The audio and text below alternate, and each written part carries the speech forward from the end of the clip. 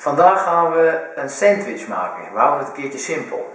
En het is leuk voor als je bijvoorbeeld een keer een verjaardag hebt en je bent uh, de blokjes kaas en de augurk opgerold in een boterhamworstje zat. Dan kun je dit als alternatief een keer serveren. Ik ga een pesto maken. Pesto mayonaise om precies te zijn. En uh, daar begin ik altijd met uh, pijnboompjes te Als je die roostert, dan komt er wat meer. Nou, zo. Dan komt er wat meer smaak aan uh, de nootjes zelf. Nou, pesto bestaat uit uh, basilicumblaadjes, pijnboompitten, parmezaanse kaas, olijfolie en officieel een teentje knoflook. Een teentje knoflook laat ik uh, achterwege, maar de rest malen we even fijn. Een goede blok parmezaanse kaas. Ik heb nog steeds geen nieuwe blender, dus ik doe het met de staafmixer uh, fijn malen. Nou, ik heb hier uh, verse blaadjes basilicum. Die trekken we er gewoon even af. Ik moet wel verse gebruiken, niet gedroogd of zo, dus niet te vreten. En die kwakken we zo in de kom, die we zo meteen gaan fijn malen. Nou, de pijnboompitjes zijn geroosterd. Daar moet je heel voorzichtig mee zijn, want dat kan heel snel uh, verbranden. Dan gaan we de pesto uh, afmaken. Ik heb hier een hele lekkere olijfolie.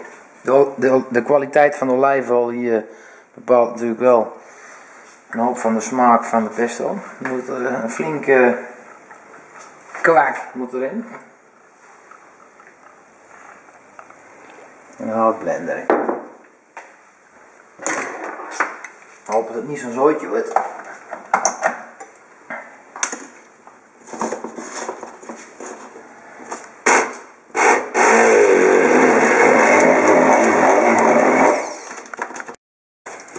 Ja.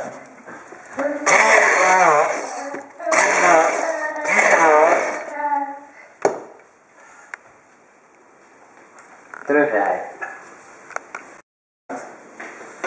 Nou, ik heb de pesto uh, is klaar. Laat je niet uh, gek maken dat je een potje van tevoren, zeg maar een kant-en-klaar potje koopt. Het is niet te vergelijken qua smaak. Eigenlijk, ja, vies. Nu doen we er een beetje mayonaise bij. Wordt het romiger eigenlijk. En daar smeer ik zo met broodjes mee. Niet te veel mayonaise. Gewoon hem een beetje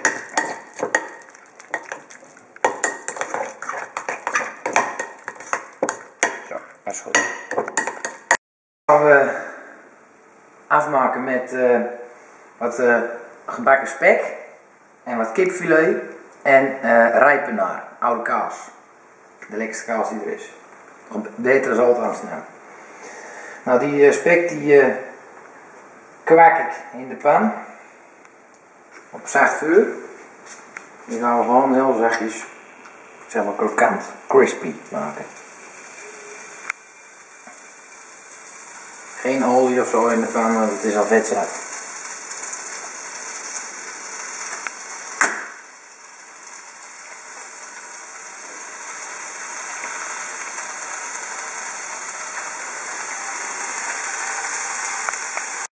Nou, dit is uh, rijpenaar uh, kaas, oude kaas, een 1 jaar oude kaas, bij de Sliero te krijgen. Nou, het is gewoon ontzettend lekker. Er zitten lekkere zoutkorreltjes in. En als je een oude kaas houdt, dan weet je eigenlijk wel uh, wat rijpenaar is. Nou, ik schaaf er gewoon mooie dunne plakjes van. En die ga ik zo meteen met brood mee beleggen. Ik heb de bacon uit laten lekken op een uh, keukenpapiertje. Dan is die lekker crispy. nou wat hebben we erin minder. Maar uh, nu gaan we het broodje afmaken. Ik heb voor, voor het gemak heb ik van die sandwichbroden gekocht. Ook weer bij de Sligro. Dat is eigenlijk kosteloos brood. En het blijft heel lang vers. En het is eigenlijk gewoon heel lekker. Dus die ga ik nu gebruiken. We maken er een driedubbele sandwich van, zeg maar. Dus een soort van dubbeldekker. En op elk, elk laagje smeren we uiteraard even wat pesto mayonaise. Al wel niet zoveel als nu. Dat is goed zo. Ja, we gaan hem uh, nu afmaken. Ik leg uh, stukjes kipfilet en kaas op één uh, broodje. Niet de spek erbij, want dan krijg je zo'n tosti als die nog warm is bijvoorbeeld. En op het andere, dan doen we gewoon lekker rijkelijk beleggen. Op de andere doen we dus de, de spek en de rucola. Je zou ook nog voor kunnen kiezen om er tomaatjes of zonder droge tomaatjes aan toe te voegen. Maar daar houdt hier niemand niet van. Dus die uh, heb ik maar achterwege gelaten. Kaas erbij.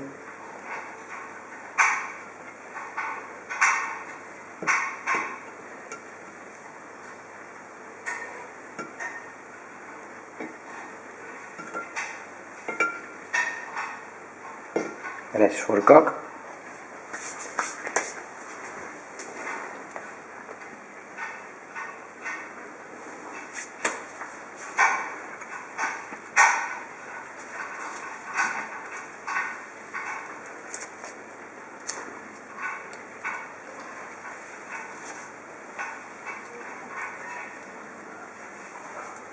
Spekjes.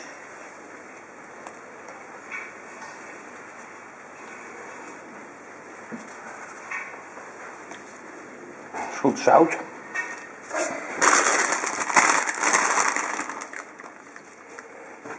Rucola.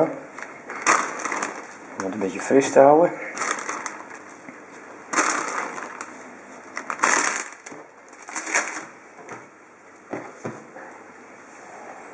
Laatste broodje erop. Die hoeft niet met pesto ingesmeerd te worden, want er zit al genoeg op. En dan druk je hem gewoon een beetje aan.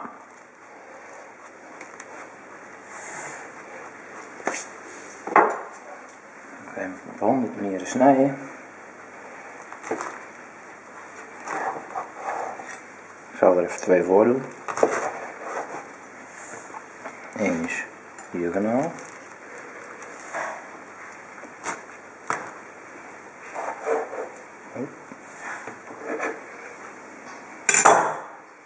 Mooi bordje.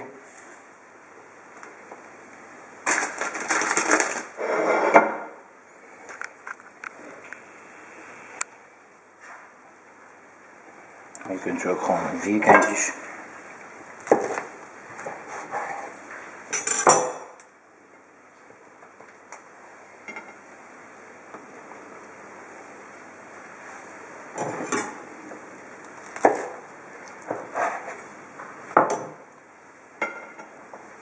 Je kan ze ook nog kleiner snijden. Als je bijvoorbeeld echt een verjaardag hebt. Dan doe je er een prikketje in.